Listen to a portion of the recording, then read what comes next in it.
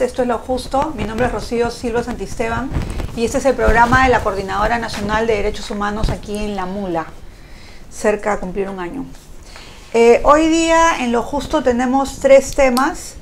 Eh, en primer lugar, eh, hemos invitado a la señora Elizabeth González, esposa del mayor FAP Jorge Olivera.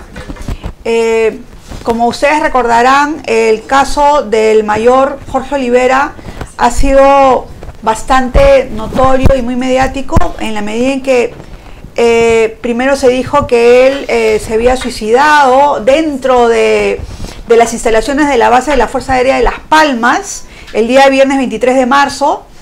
Sin embargo, debido ya a, digamos, eh, una, informes de los forenses, etcétera, bueno, al parecer eh, este tema no se trata de un suicidio, se trata de un tema mucho más complejo, probablemente de un asesinato y de un asesinato debido a algún tema de corrupción, en fin. Eso es lo que vamos a explorar con la señora eh, Elizabeth, que además, bueno, eh, es, una mujer muy valiente, de verdad, porque está demostrando precisamente el amor que le tiene a su esposo de salir a los medios y enfrentar a bueno, a, estos oficiales y suboficiales que están implicados en algo extraño. Después vamos a tener una entrevista a Marco Arana, pero no sobre el tema de Conga, sobre un tema, sobre un tema completamente diferente y es sobre la sanción que el arzobispo de Lima, Luis Cipriani, eh, le ha, bueno, eh, suspendido, ha suspendido al padre Gastón Garatea. Es una sanción que a nosotros y a muchas personas nos parece desmesurada y en todo caso, bueno, no ha habido también un proceso, digamos, canónico más o menos transparente. Y bueno, Gastón Aratea en estos momentos está recibiendo muchísimas muestras de solidaridad. En estos momentos hay un plantón al frente de la Anunciatura Apostólica por un grupo bastante nutrido de gente que no son solamente personas vinculadas con, digamos, con, la Iglesia Católica, aunque sí lo hay muchas y muchas monjas valientes también y curas sino también personas que ven en la labor del padre Gastón Garatea el ejemplo de un peruano que ha trabajado por el tema de los derechos humanos, de los pobres y de los excluidos. Finalmente vamos a estar por Skype con Jo Marie Bart, profesora de la Universidad George Mason de Washington, y ella nos va a hablar sobre dos militares que están en estos momentos en pleno cresta de la ola. Uno de ellos es el Murtado, uno de los inculpados por, la, el genocidio de la comarca, quien está, bueno, en esos momentos ya denunciando a otros eh, altos funcionarios del ejército de ese entonces. Y también va a hablarnos Joe Marí sobre el nuevo ministro del Interior, el general en retiro, Calle Girón. Entonces, los dejo en ese momento con un eh, reportaje sobre el caso del mayor Fab Jorge Olivera, y este, esta muerte que aún se encuentra en la oscuridad y no hay nada claro al respecto.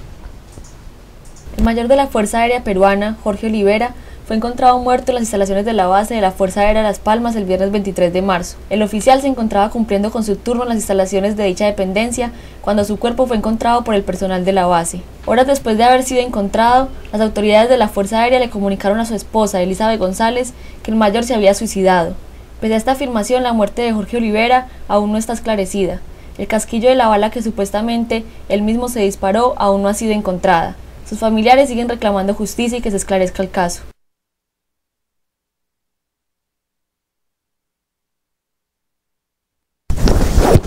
Bueno, nos encontramos entonces aquí con Elizabeth González, es eh, la esposa del mayor FAP Jorge Olivera. Y bueno, en primer lugar, como yo le comentaba a ella antes de cámara, eh, verdaderamente sabe que, o sea, quería, quería decírselo de todas maneras y se lo digo acá. Cuando eh, en, la oficina nosotros, pero yo personalmente vimos la noticia de la muerte de su esposo y, usted salió tan valientemente, de verdad, mis respetos, porque no es fácil, es difícil, es difícil en medio de la, digamos, del dolor, de, de todo lo que ha sucedido de manera tan rápida. Y bueno, por supuesto de una muerte injusta de una persona joven con una familia tan linda. Y, sin embargo, también otra cosa que quería comentarle es que eh, bueno, que precisamente el amor se, se, sostiene en estos momentos, ¿no? O sea, en, en, en, estos momentos en que usted está buscando no solamente ese hecho que ha sucedido y que le está provocando dolor, sino también justicia para, para la memoria de, de, su esposo, ¿no? Bueno, yo eh, quisiera agradecerle mucho por, por, por venir acá al, al, programa y bueno, en primer lugar quisiera eh, preguntarle sobre cuál es la situación en estos momentos del caso, ¿no? Porque eh, como, como estábamos comentando y bueno, usted ya digamos, eh, ha salido otros programas y, y se ha visto.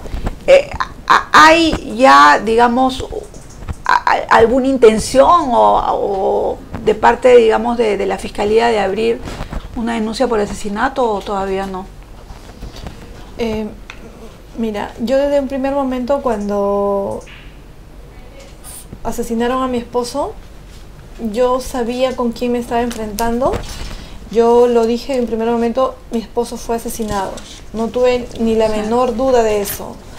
Eh, pero sabía también que me estaba enfrentando hacia un monstruo, una, a una entidad tan grande que no iba a ser fácil. ¿no? El día que mi esposo fue enterrado, el, un lunes, el 26 de marzo, yo, nosotros ya sabíamos que, me, que, que la ININCRE lo iba a sacar como un suicidio. Mm el mismo día que mi esposo yo venía del cementerio, llamamos y ya nos dijeron que se iba a salir como un suicidio. Yo digo, la INICRI cuando quiere es fácil para dar un resultado tan absurdo, sin haber investigado, sin haber concluido una investigación, pero no es tan, como no están tan, como no son tan rápidos para encontrar ponte el cuerpo de este chico Vilca que se moró tanto tiempo, mm. ¿no? Y que tuvo ir su padre para recuperarlo.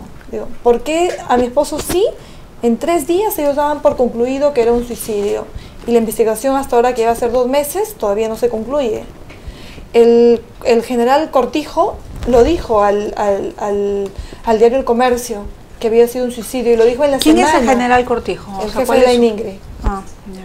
El jefe de la ININGRI. El jefe de la ININGRI, el cual también dijo que el chico este falla era un drogadicto. Falla, sí. Que era un drogadicto y al final las pruebas dijeron que no lo era. O sea, para, para limpiar su honra de ellos y son fáciles para sacar cualquier cosa. ¿no? Igual fue con mi esposo. Pero, pero, pero no han dicho, no han podido decir nada en relación con su esposo. O sea, lo único que podrían haber dicho es que se suicidó ¿por qué? Por, claro, son por... lige fueron ligeros a opinar. Y siendo él el jefe de la ININCRE, ¿no? Dijo eso. Y yo teniendo en manos después el, el resultado de medicina legal, que dice que el arma ha sido disparada a larga distancia que tenía múltiples escoriaciones. O sea, que fue golpeado. Que fue golpeado. Su camisa estaba rasgada en su bolsillo derecho. Y otra cosa que estábamos comentando, eh, bueno, era... Eh, en esos momentos, digamos, usted está viendo la posibilidad de una exhumación, ¿no? Para que se pueda aclarar el tema de los detalles forenses. Claro, eh, todavía no lo sabemos uh -huh. hasta el fin de semana, que se termine la algunas diligencias y eso es lo que me dijo mi abogado. En todo caso, tenemos que llegar hasta lo último. Yo le dije, no, por mí no hay ningún problema, es más, yo se lo planteé al doctor. Hablaré con mis cuñados y le plantearé este tema, ¿no? Si es necesario exhumar el cuerpo de mi esposo, que es algo dolorosísimo para mí sí, y supuesto. creo que para cualquier de la familia de mi esposo. Pero si es necesario lo tendré que hacer. Claro, si es pero, necesario lo tendré que hacer. Pero digamos, y, y, y, y usted, eh, digamos, en esta, en esta búsqueda de justicia está siendo respaldada también por la, por la familia de su esposo, por los padres, no sé. Mi esposo es huérfano de padre y madre. ¿Y sus hermanos? Sí, claro, todos somos una familia, todos estamos unidos en esto. ¿Cuántos meses tiene su bebé? Ha cumplido seis meses el 8 de mayo. Seis meses, mi esposo lo dejó de cuatro meses y medio. Claro. De cuatro meses y medio. Y, y era era un secreto de nosotros, creo que ya toda la prensa lo sabe, mi hijo nació por una, inseminación in vitro. Un ser, un, una persona que, que, buscamos bebé por tantos tiempo, por años de casados, que no venía bebé, siete años ya de casados y vamos a cumplir en este noviembre. Claro, no es imposible, logramos o sea, nuestro logramos nuestro anhelo de ser padres y era el y era el hombre más feliz del mundo y creo que toda persona un padre que me está viendo lo sabe. La llegada de un bebé es lo mejor que nos puede pasar como madre y también como padre. Yo siempre comentaba con él, yo quiero más a mi bebé, no, yo lo quiero más. No, ¿cómo se mide? No, entonces yo lo quiero más, le digo porque yo lo hago en la panza, tú no. Y él me decía, yo sería el hombre más feliz si Dios me diera la oportunidad de llevarlo. Yo quiero un segundo a mi hijo en mi barriga. Era súper amoroso, súper cariñoso. ¿Cuántos años tenía su esposo? 39 años, una persona súper joven para ser esa comandante. ¿Y? Preparándose. Y era, no era eh, el oficial del montón, era que estaba siempre en la búsqueda de prepararse, siempre estudiando. Y todos sus compañeros que han ido a declarar lo dicen, no es un oficial del montón, porque hay oficiales de montones pero él no era el de montón. Y, y, claro, también he visto que, que eh, usted me enseñó, se, se le traspapeló en, en, los papeles de, de, los forenses una dedicatoria que le hace sobre una investigación que él ha realizado, ¿no? Entonces, digamos, eh, bueno, o sea, que era una persona que investigaba dentro de, la propia, eh, digamos, de su propia arma y que tenía un niño que había sido buscado con durante mucho tiempo. Entonces, bueno, en verdad la teoría del suicidio es una hipótesis completamente absurda, ¿no? Yo creo que eso, en ese sentido, Elizabeth, yo creo que en general, o sea, las personas que la han escuchado... pública me creen. absolutamente. Todos, todos me creen. O sea, es insostenible lo Todos me creen, todos. Yo he caminado por la calle, yo no, yo digo... Eh, ¿Cómo me pueden reconocer? Fue hace poco con mi hermana a hacer unas compras por el Día de la Madre acá a un centro comercial y una señora se me acercó me dijo, fuerza señora, yo todos le creemos, todos estamos con usted. Estaba con mi bebé, yo ahí, ¿no? Un día fue a almorzar, igual se acercó una señora, igual, me dice, le creemos a usted. Yo lo sé. Sí. Ahora, el tema es qué es lo que está detrás, ¿no? O sea, porque, digamos, e, es bien difícil para una persona eh, como usted, digamos que es una mujer joven, sola, eh, enfrentarse con lo que estaba diciéndome hace un momento, con este extraño monstruo difuso que no sabe exactamente qué es lo que hay detrás. ¿no? Entonces, eh, ¿cuáles son las hipótesis que ahora se están manejando dentro, no sé si por su abogado o por, o por algunas otras personas que estén en investigación? ¿Y cuál es la respuesta que usted ha recibido de la propia institución, de la, de la FAP? ¿no? Mira, la institución yo no he recibido ninguna respuesta, ya lo he dicho siempre. Eh, no se han dignado a llamarme a ver este, qué es lo que está pasando conmigo. Al final ya eso ya lo dejo a conciencia del general, de los generales y todo lo demás, ya. Eso no, no, no, no, no, me, no me quita el sueño, como digo eso, ¿no? Yo estoy siguiendo adelante con mi investigación, pero la DININCRI para mí que no está haciendo su trabajo, porque ellos están aferrándose. Yo ayer que tuve una ampliación de mi, mi declaración, yo les dije, ¿por qué ustedes no investigan dentro? Todo el mundo sabe eso. Mm. Todos saben los robos que se tejen dentro de la Fuerza Aérea y, y, todas las instituciones. ¿Por qué no investigan dentro? ¿Por qué no ingresan dentro? ¿Por qué el general no brinda todas las facilidades del caso para que hagan una investigación clara? Y su esposo, digamos, le hizo algún comentario sobre el trabajo que estaba realizando, en el sentido de, de percibir que había quizás alguna preocupación, no sé si peligro, pero por lo menos una preocupación sobre algo. Mi esposo estaba en una comisión de inventarios, lo habían puesto una comisión de inventarios. Salía, su, llegaba hacia la casa cansado. Eh, lo que pasa es que yo también trabajo, soy independiente, tengo un negocio en Gamarra, entonces yo también trataba, antes de llevaba el trabajo a mi casa. Entonces, como no había bebés, él llevaba su trabajo a la casa, yo llevaba mi trabajo a la casa, entonces así parábamos. En hora de la noche yo avanzaba, él avanzaba con sus cosas. Pero desde que nació bebé, mm. se prohibió, por lo, los dos nos pusimos de acuerdo. Cholo, ¿sabes qué? El trabajo se queda en el trabajo, fuera. Entonces mi esposo hasta el año pasado hizo el curso de, mayor en La Molina. Eso sí, sí o sí tenía que hacer estudios en la casa. Ahí se amanecía estudiando. de boleto, como se dice, se la pasaba estudiando. Terminó su curso este, el, el 2011 y en el 2012 ya este año lo mandan al CEMAN.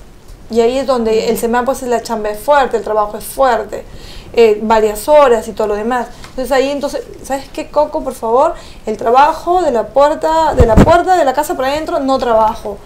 El, el Minextel me hacía pagarlo, ¿no? Él su RPM no lo pagaba, lo ponía en vibrador porque bueno, pueden llamarlo del trabajo. Pero las veces que él iba a acompañarme para ver los controles del bebé porque él nunca me dejó ir sola a la clínica a llevar a mi hijo a sus controles, él estaba pendiente mucho de mi bebé. Él sí, ya, en ese lapso sí, yo era, yo sí oía que lo llamaba del trabajo y, y se ponía a renegar, discutían y todo, o sea, por teléfono, ¿no? En el momento de hora de trabajo. Pero ya en la noche ya ponía el vibrador el celular y entonces veía qué llamadas contestar y qué llamadas no contestar. Entonces yo no era pues de estar escuchando qué conversa, qué no conversa, porque Claro, tenía claro. una, una relación súper tranquila con mi esposo. Nunca hubo esa desconfianza por ambos lados.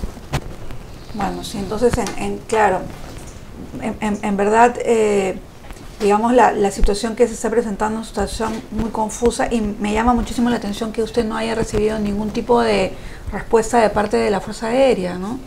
Eh, ni siquiera durante, digamos, el sepelio.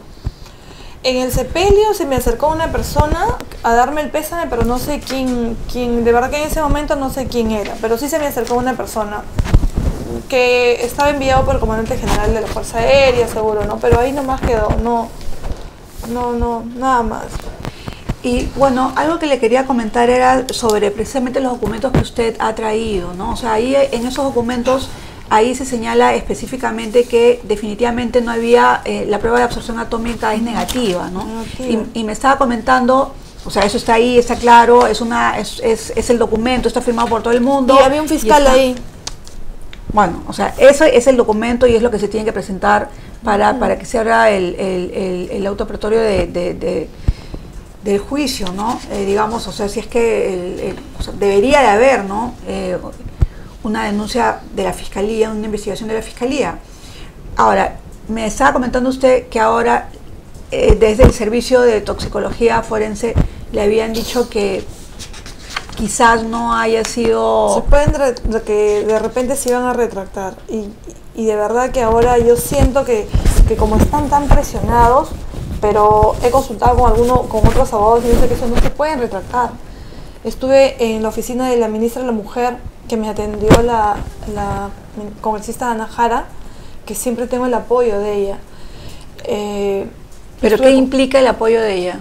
me, siempre me está apoyando, está tratando de... Mira, desde que me recibe para mí es un apoyo. ya. Claro, por supuesto que sí, pero y digamos... es la única que, que hasta ahora sí, y otros congresistas más, ¿no? Es- Ya. eh, me, me- me dio el servicio de su abogado, o sea, me está apoyando. O sea, el abogado que usted tiene ahorita... no, no, no, es- no, no, es, independiente es de independiente. mío, sino que es siempre bueno buscar, tocar puertas. Claro, sí.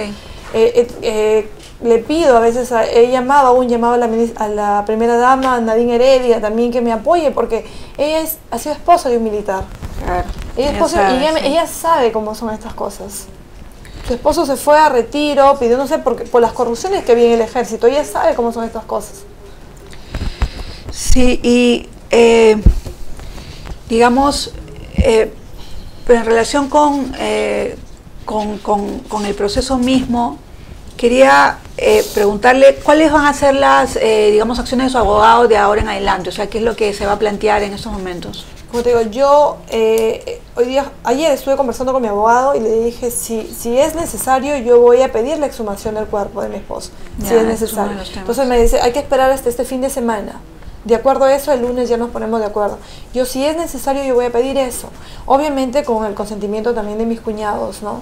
Porque mi esposo, pues, es- no tiene papás y estoy con mis cuñados nada más. Obviamente con el consentimiento de ellos. Pero yo como viuda, yo sí voy a decir que sí. Claro, o sea, tiene todo el derecho. tengo todo el derecho. No. Bueno, y otra cosa que yo también había escuchado en, en una entrevista que le hicieron era sobre el tema de llevar esto, digamos, incluso más allá de, los fueros nacionales, ¿no?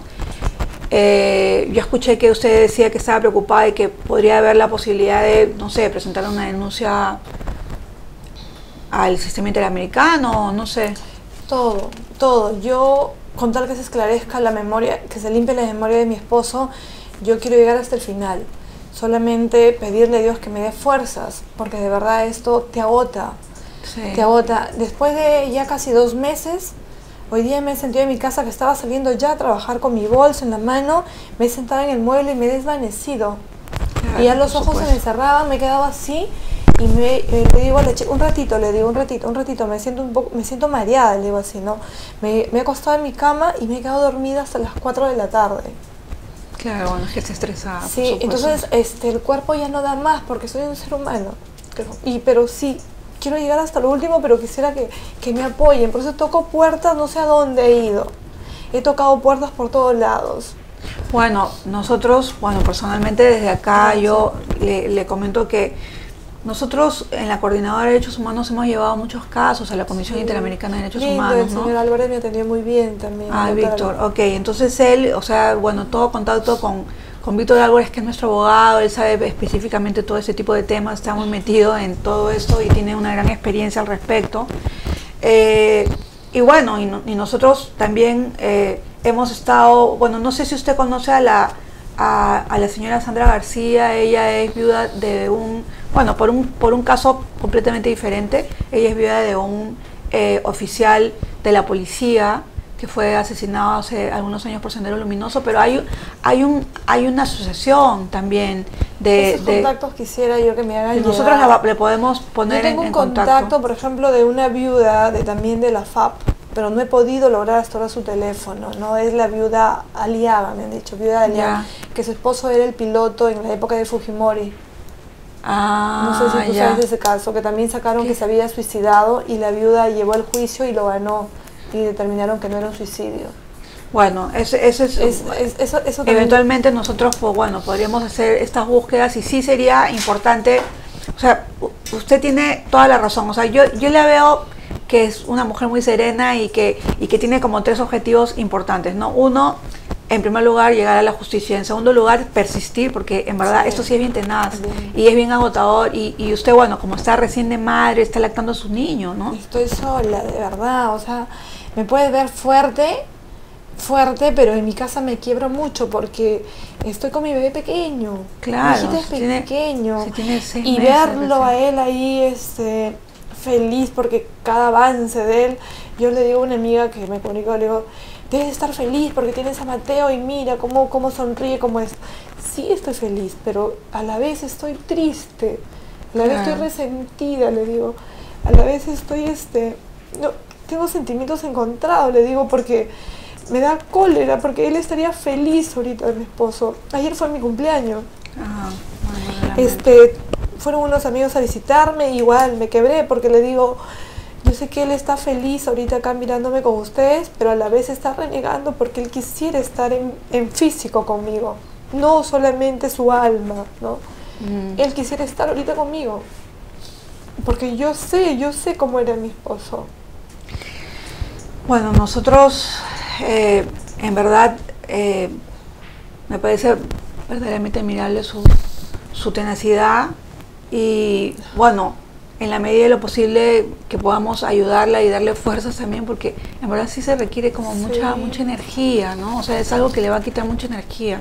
Te y tal vez quizás otra cosa que también podemos apoyar bastante es que tenemos grupos de, de, de personas, de psicólogas que pueden darle un soporte, digamos, para, para ayudarla a, a llevar la situación, ¿no? Porque es duro, sí, es duro y bueno, yo, bueno, yo también soy madre y es, es, es, va a ser duro también para usted, o sea, eh, estos primeros momentos en que está su bebito tan chiquito y usted estar sola. Eh, sin embargo, eh, ahí también está su esposo, ¿no? O sea, precisamente ese, ese es, digamos, el, el legado, ¿no? Y, y, y, y sí es bastante importante que usted pueda conseguir con la tenacidad y la serenidad que tiene, eh, que se llegue a un punto de esclarecer todo esto, ¿no? Porque en verdad no puede ser que una institución del Estado peruano eche suciedad sobre la memoria de un oficial de, de la FAP. Eh, y yo sí creo y confío en que hay muchos otros oficiales que también deben sentirse muy indignados Claro que por lo sí, que yo está lo sucediendo. sé, Yo ¿no? lo sé, yo sé que así como mi esposo ha sido oficial y era una persona súper correcta, tengo mis cuñados que son oficiales y yo sé que hay mucha gente que es oficial que me ha llamado, me ha escrito por el Face donde me dicen palabras muy bonitas. Que, bueno, no todos son malos como en todas partes del mundo. No, o sea, es probable que más bien eh, los malos sean eh, precisamente los que hay que extirpar, o sea, los que, por eso es, es- es este tema de la justicia, para ver qué es lo que ha habido ahí y por qué es que se ha cometido este asesinato, ¿no? Bueno, Elizabeth, eh, le agradezco mucho que haya venido esta noche acá al programa y como le digo, este, ahora después de, eh, de, de- de- de detrás del set nos ponemos en contacto bien para, para todo este apoyo que podríamos eventualmente darle desde la coordinadora. Pero otra cosita, yo pienso, mira, yo tengo una pequeña empresa, ¿no? Y yo digo, si en algún accidente algo pasa dentro de la empresa, el Estado, el Ministerio de Trabajo se va a ir contra mí como jefa, ¿no es cierto? Mm. ¿No? Entonces, ¿qué pasa en la Fuerza Aérea? Claro. ¿Por qué el comandante general no se, no se, no ha dicho nada? Que mataron a un animal dentro de la Fuerza Aérea, ¿qué cosa?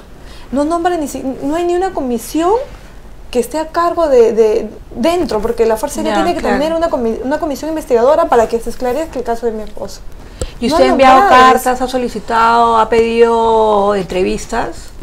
Lo que pasa es que yo pensé que ellos tenían que venir a, a buscarme porque yo soy la agraviada, ¿no? Entonces, en el lapso de 15 días no se manifestaron, no me llamaron, no dijeron nada de la muerte de mi esposo. Pasados los 15 días yo salí en casi todos los dominicales de la televisión. El día lunes me comenzaron a llamar que necesitaban comunicarse conmigo para ver si yo necesitaba algo y todo lo demás. Eso fue lunes y martes. Ya. Mi abogado le dijo que ya, que perfecto, nos reunimos en su oficina, que está en San Isidro, un sitio céntrico para los dos lados. Que ya nos reunimos ahí. El día, después, de- al siguiente día lo llamaron para decir que no, que ellos no podían salir de la base aérea. Si nosotros queríamos entrevistarnos con ellos, teníamos que irnos hacia Las Palmas. Ya. Eso me pareció una falta de respeto porque ellos fueron los que llamaron a nosotros. Ya. Nosotros no llamamos a solicitarle una entrevista. Y entonces, o sea, eso, esa, esa reunión, esa entrevista nunca se, ha llevó a frustrado. Nunca se llevó a cabo. Ya, bueno. Bueno, entonces esperamos pues que eh, los oficiales de la Fuerza Aérea puedan tomar las cosas, eh, eh, eh, digamos, al toro por las asas en esos momentos, ¿no? Para además limpiar la institución, porque la Claro. institución en esos momentos hay tal cantidad de confusión en relación con este caso que no, no es lo mejor para la institución, o sea, es eh, la institución en la que está sufriendo, digamos, también eh, en, en- en esta situación concreta, ¿no?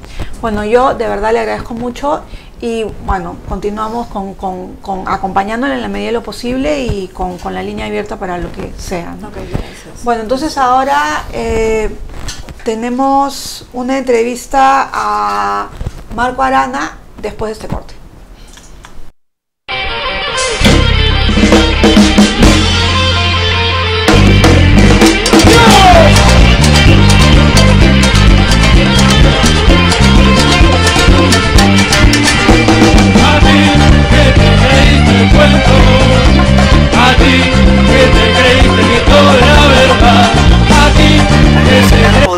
Porque te reta y te incomoda con inteligencia y con estilo. Leo la revista Poder desde su primer número hace ya justamente tres años, porque es una revista indispensable en la formación de todos quienes queremos entender lo que pasa en el Perú. Es creativa, es inteligente y tiene rigor. Y eso para mí es el periodismo que me gusta y por eso leo Poder.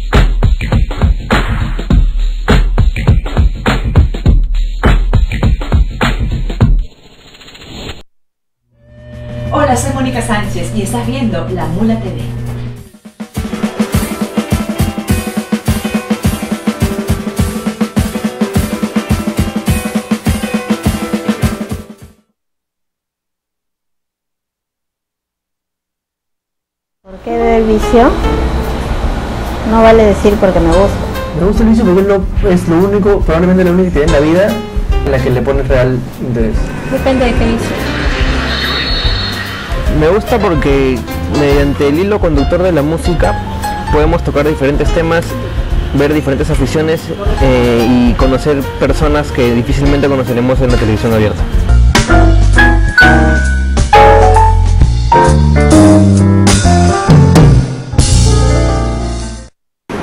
Vicio? Eh, no veo el vicio. Porque me parece un programa entretenido y en el cual me entero de temas de música nuevos que no había escuchado antes? Porque todos tenemos un vicio, pues. Mm, hay algo, no sé, pues que, que, no- que nos relaja en eso. Pero ¿ves el vicio?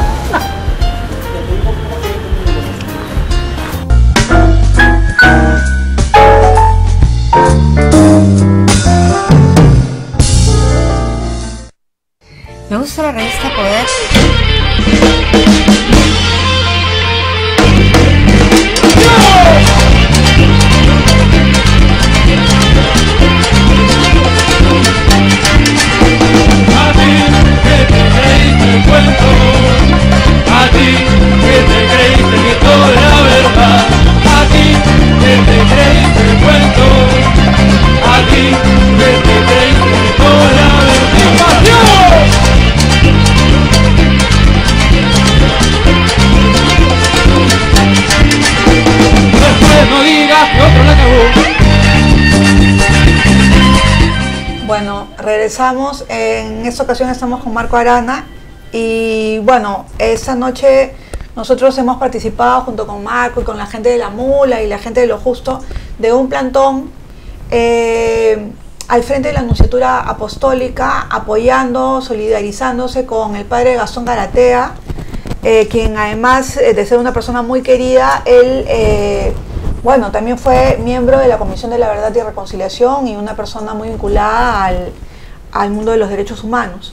Y bueno, por eso le hemos invitado a Marco, no para hablar en esta ocasión sobre la situación de extractivas, etcétera, sino sobre el caso de, Gastón Garatea, ¿no? Porque bueno, eh, también tú has pasado por algo parecido, más o menos, no, no sé si igual, y, y en todo caso, no sé si nos podrías contar eh, qué significa eso de dejar suspendido a un sacerdote de que no pueda oficiar la misa u otros rituales sacramentales, no sé.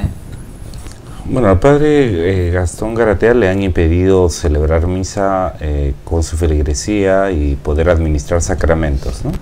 Eso para un sacerdote joven que eventualmente haya infringido gravemente normas mm, podría no significar mucho, sino una suerte de, bueno, usted se portó mal, váyase, ¿no?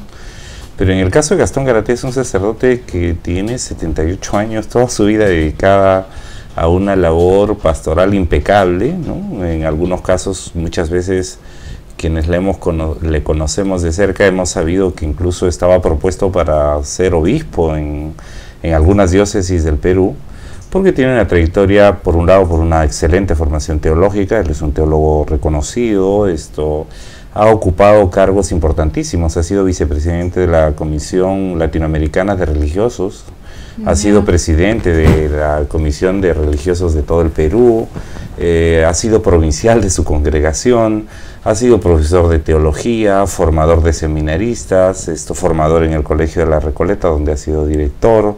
Es decir, esto tiene una trayectoria de servicio impecable y una formación extraordinaria, y además de eso, tareas ciudadanas muy importantes. Ha sido presidente de la Mesa de Concertación de Lucha contra la Pobreza, ha sido miembro de la Comisión de la Verdad, está ahora ocupando un cargo importantísimo en el Centro de Responsabilidad Empresarial de la Católica. Entonces, suspender a un sacerdote de esa manera, a- además arbitraria, yo creo injustificada en muchos casos, francamente es algo inaceptable y una decisión desacertada del cardenal. Pero, pero ¿cuál es la diferencia, digamos, eh, entre lo que le está sucediendo ahorita a Gastón Garatea y lo que te ha pasado a ti?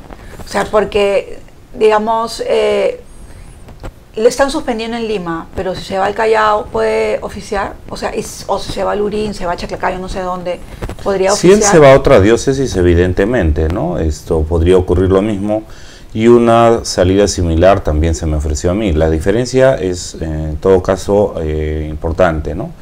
Yo eh, asumí responsabilidades político-partidarias y eso está prohibido expresamente en el derecho canónico y hubiera podido hacerlo con un permiso de mi obispo. Sin embargo, ese permiso no me fue concedido. Pero digamos, había una línea roja y yo la pasé y pedí permiso para pasarla, no me fue concedido. Pero en el caso de Gastón Garatea, No hay ninguna línea no, roja. no hay una línea roja. El padre Gastón Garatea, ¿por qué le suspenden? No, no está del todo Claro. claro Sí. digamos porque ha habido al parecer correspondencia interna que no es de conocimiento público y esto en ese sentido no hay absoluta digamos no hay una claridad de los documentos Pero lo que, están han- diciendo, bueno, en términos, o sea, de la, de la opinión pública, es que ha sido suspendido porque él tuvo una opinión en relación con la unión civil entre parejas homosexuales. Bueno, en realidad hay dos razones que han estado circulando en la prensa, ¿no? Una de ellas es vinculada a su opinión sobre el celibato sacerdotal, que como sabemos en la comunidad teológica católica y en otras iglesias eh, cristianas, incluso la católica ortodoxa de rito oriental, eh, y en la propia tradición de la teología y de la iglesia católica, el celibato ha sido una disciplina impuesta en la iglesia, el primer papa era casado, y además hay muchos sacerdotes que han pedido y teólogos que están pidiendo que este sea un tema eh, de libre aceptación, ¿no? Que el Pero que quiera lo asume. en relación con ese tema. O sea, Así es. Digo, en términos generales, en los últimos años en la Iglesia, con, con el papado de Juan Pablo II, se ha retrocedido en el tema, digamos, ya no digo, eh, o sea, incluso en el debate en relación con el punto, o sea, ya no se debate nada, ¿no? Y se ha retrocedido en relación con otros Así temas es. también, ¿no? Pero como lo dice Rocío, se ha retrocedido por porque la iglesia oficial y la jerarquía, en este caso del Opus Dei, a la que pertenece eh, Monseñor Cipriani, hayan retrocedido, esa pues no sería una causa para el tipo de medida desproporcionada que se le ha dado. En todo caso podría haber pues un llamado de atención, un diálogo, en fin, pero no podría no hacer pues esto esto que ha ocurrido. Ahora, es verdad que el tema de la unión civil, esto había una opinión del padre Gastón sobre el tema, pero este también no sería un tema finalmente para esa sanción desproporcionada. En lo personal, yo y muchos pensamos que lo que ha ocurrido es que Cipriani ha pasado la factura del informe de la Comisión de la Verdad. Recordemos que eh, Gastón Garatea participó Claro. de la Comisión de la Verdad y eso tiene irritadísimo al cardenal. ¿no? Bueno, entonces regresemos a lo político, que es el tema que, que ahora manejas. Y es no solamente el, el asunto de, de la Comisión de la Verdad, porque digamos que sería, bueno, con bastantes años de retroceso, sino también el tema de la Universidad Católica, ¿no? O sea, no quisiera centrar el asunto desde la perspectiva solo de la Universidad Católica, ¿no? Pero sí creo que definitivamente el que él esté en este cargo y él haya participado bastante activamente también de la Facultad de Teología, de la universidad, etcétera, etcétera, etcétera, ¿no te parece que también, digamos, uno de los elementos de esta irritación del arzobispo de Lima es la católica? Coyunturalmente sí, ¿no? Pero digamos, en términos, si quieres una opinión como sociólogo sobre el tema, yo diría, aquí lo que estamos viendo es una actitud eh, eh, intolerante, una actitud esto eh, de uso abusivo del poder religioso sobre alguien con quien se discrepa.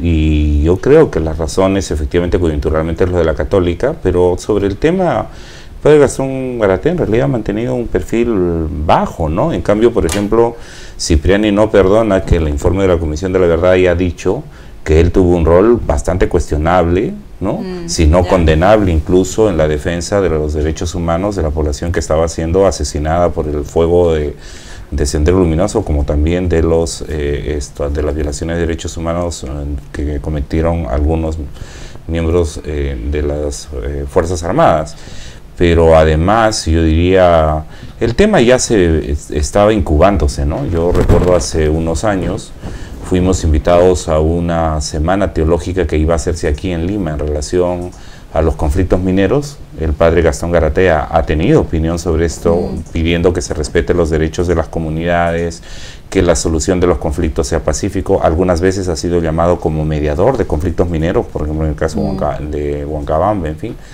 Y sobre eso también, pues, esto, yo sospecho que, que callos muy grandes y de gente con mucho poder han dicho, mira, esto, esto hay que cortarlo. De hecho, yo recuerdo unas declaraciones de Alan García alrededor de no solo intervención mía, sino del hermano Paul Macaulay, en fin, Ah, eh, claro, hace un sí. tiempo, donde Alan García salió a hablar de los falsos cristos. Habían sacerdotes que son falsos cristos. Y, Sí. y- y no olvidemos que Alan García era el que le besaba las manos al cardenal Cipriani. Entonces, eh, ¿de qué estamos hablando? Estamos hablando de una sola de un problema interno de la iglesia o estamos hablando de una actitud intolerante en el país? ¿Estamos hablando de restricciones de libertades democráticas en el país? Yo creo que es más esto último. ¿no? Bueno, sí, claro, o sea, definitivamente, digamos, este caso va más allá del tema de la iglesia, por eso te decía, más allá del tema de la Universidad Católica, más allá de del tema de la iglesia católica y, y el asunto es precisamente por qué eh, ha causado tanta indignación, porque eh, eh, desde los ateos o hasta incluso el movimiento homosexual de Lima, que al parecer van a sacar un pronunciamiento, eh, han considerado que se trata de una decisión sumamente injusta, ¿no? Y injusta eh, en la medida, o sea, injusta no solamente desde una perspectiva de derecho canónico, sino más allá de eso, ¿no? O sea, acá hay eh, una situación de poder, ¿no? Justo ahorita estamos viendo precisamente fotos del plantón que se está realizando en estos momentos en, eh, al frente de la anunciatura. También me parece importante que se haya tomado la decisión de que sea al frente de la anunciatura y no, eh, bueno, al frente del arzobispado, que hubiera sido un poco más extraño y complicado. ¿qué, qué, qué, qué es, cuál es ¿Qué significa suspensión? O sea, ¿qué, eh, ah, ya, ya entendí. Eh, digamos, ¿cuál, ¿cuál es, o sea, no significa este, esta sanción que el padre Gastón Garatea deje de ser sacerdote ni nada por el estilo? No, eh, el padre Gastón Garatea esto en realidad no puede ser eh, esto impedido de ejercer el sacerdocio en otras diócesis, como lo han recordado eh, diversas personas, ¿no? Es más, esto eh, hoy día la presencia, por ejemplo, de sacerdotes, pastores evangélicos, esto, laicos, he visto profesionales, gente del mundo del arte, y una cosa bonita en el plantón, eh, también muy jóvenes, ¿no? Esto, Ah, sí, había había gente, varios. adolescentes, universitarios y gente también ya de, de años avanzados. Uno dice Muchas monjas, ¿ah? Muchas monjas más que curas. Sí, y uno dice, bueno, pero este es un tema que yo creo y lo estamos viendo como reacciones eh, saludables, eh, va a unir a muchos peruanos, porque yo creo que debemos aprender a vivir en una sociedad con unos mínimos de respeto de la dignidad, de las libertades, de la democracia y de lucha contra la intolerancia, ¿no? Hoy día escuché que alguien estaba diciendo algo así como que podría ser el Waterloo de Cipriani. ¿Tú lo crees?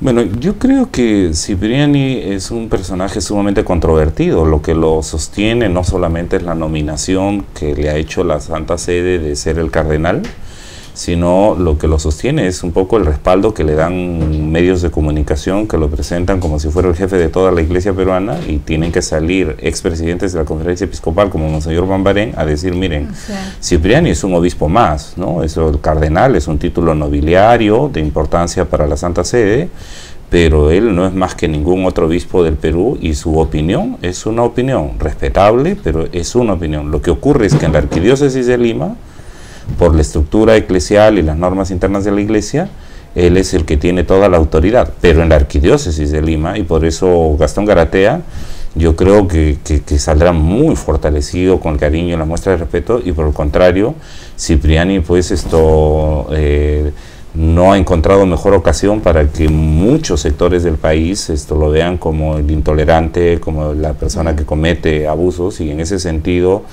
me preocupa no tanto que sea el Waterloo de Cipriani, sino que por el contrario esto aleje a mucha gente de la iglesia y Ah, que en el fondo dañe esto la misma comunidad eclesial y que en este caso lo deseable sería pues que Roma analice el tema y le diga señor cardenal como ya ha ocurrido en otras diócesis y en otras iglesias del mundo Que baje usted me crea tantos problemas que o baje el tono o venga hacia la Santa Sede, pero deje tranquilo la comunidad eclesial, ¿no? Se vaya al Sería- Vaticano.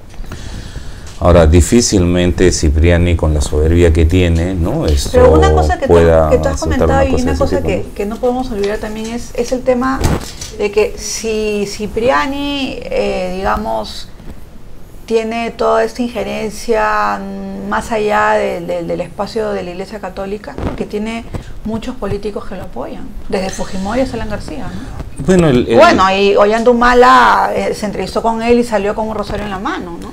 La soberbia de Cipriani no solo tiene que ver con su estilo personal y probablemente su propia ascendencia familiar, sino tiene que ver con sus vínculos con el poder político y económico y militar de este país. ¿no? Recordemos que eh, Cipriani en la época de la dictadura fujimorista y de la corrupción fujimontesinista, ¿no? esto pues esto mantenía relaciones próximas, cercanas a este núcleo de poder duro en el país. Recordemos que por sus también por su trayectoria personal, pero en parte por sus ideas ultraconservadoras, pues esto tiene muchas simpatías dentro de un empresariado antidemocrático, dentro de un empresariado que además, esto, yo no digo todos los empresarios, y yo creo que un, un gesto saludable además es que hoy día había algunos empresarios o algunos exministros ¿no? Ah, en el plantón, yo creo que eh, un gesto bonito, eh, sí, pero un gesto bonito es que, por ejemplo, el padre Gastón Garatea es asesor del Centro de Responsabilidad Social Empresarial de la Universidad Católica. Y curiosamente, Cipriani tiene pues un núcleo de empresarios, ¿no? que sabemos que muchos de ellos vinculados al Fujimorismo o a una cultura autoritaria o a los negocios que se hacen en, en Bueno, pero cercanía también- del poder también- político. ¿no? También tiene un sector bastante fuerte de la prensa, ¿no? El diario de Comercio definitivamente apoya a Cipriani, ¿no? O sea, Marta Meyer Miro Quesada es una de las personas que... No bueno, no sé, habría que mandarle a ver si, si firma este el pronunciamiento de solidaridad con Gastón Garatea. Bueno, y, el- y la presencia de, de Cipriani en la radio más influyente y escuchada del país es muy parecida a la presencia que tiene pues Chávez, Correa, en los grandes medios de comunicación de su respectivo país, ¿no? Es decir, eh, efectivamente Cipriani tiene un- una cobertura mediática de la prensa más conservadora del país, pero eso también tiene que ver con los vínculos del poder económico y político que, que él conservadoramente desde el lado más eh, autoritario de la, de la iglesia eh, representa, ¿no? Es decir, estamos hablando en realidad de Cipriani no solo como el cardenal de la iglesia, sino como una pieza del poder conservador, autoritario, ¿no? de este país, ¿no? Bueno, gracias Marco. Entonces, con nosotros ha sido hasta, eh, hasta, hasta esta hora y bueno, para la próxima semana esperamos poder contar con la presencia de Yomari Bar. La- Lamentablemente no, no, no hemos podido contactar para que nos pueda hablar sobre el caso de Telmo Hurtado y Acomarca y sobre, bueno, a ver si tiene alguna apreciación en relación con el nuevo ministro del Interior, el general Calle Girón. Nos vemos el próximo miércoles.